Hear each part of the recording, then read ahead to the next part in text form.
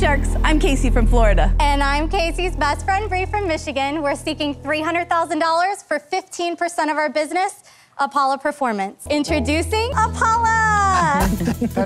Using targeted compression and sustainable yarns, we have found the Goldilocks zone for support. Apolla socks have arch support, ankle stability, energy absorption, and the option of grip. They're as durable as they are cozy, and they feel like hugs on your feet. How much do a hold on. pair of socks cost? They cost between six to $10 per pair. Wow. They retail between 32 and $40. Guys, I, I'm not your shark on this one. I'm out. It's not for me. I'm out. For me, I'm out. I'm going to offer you 300,000, but I want 25%. Lori, you have a deal!